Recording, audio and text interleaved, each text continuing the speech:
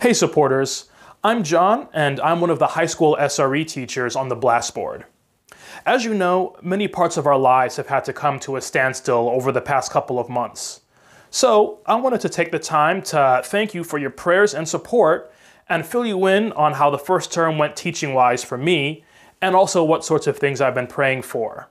I start my week off teaching at Sefton High School. The staff there has always been warm, and they've got a great sense of humor, which has really been a blessing. So thank God for that. At the start of the year, we had an influx of Year 7 students, which caused the class size to nearly triple. And out of all the new Year 7s, several of them are quite keen to contribute, which has been awesome. Now, we were going through an overview of the Bible, and I felt like I was just starting to get everyone's names down before we had to cease.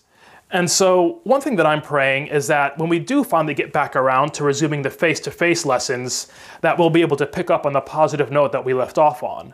And I'm also praying that some of the other students might not feel intimidated by those who are quite knowledgeable. After Sefton, I head over to Bankstown Senior College to teach. Now, at this school, I only have about six students, as all of last year's had graduated. And out of those six, all of them have pretty low English levels. Pretty much all that we're able to do is read the Bible passages and do basic comprehension.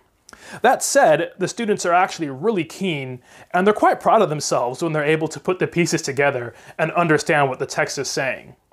So during this time, I'm praying for these students because one, they're all new migrants who are in vulnerable positions, and what I'm praying is that they'd be comforted by God during this time and that they'd be able to receive the support that they need, because I know that some of them work jobs that have probably been lost at this time.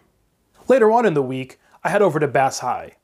Now, a new principal had been appointed at the beginning of the year, which meant a bit of a slow start for SRE as class setup had to be negotiated first.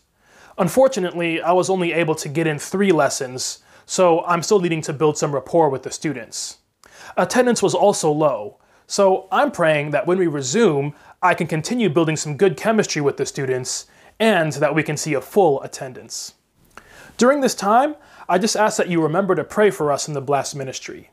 We've had our ups and downs this year, and we're really looking forward to things picking up in the future.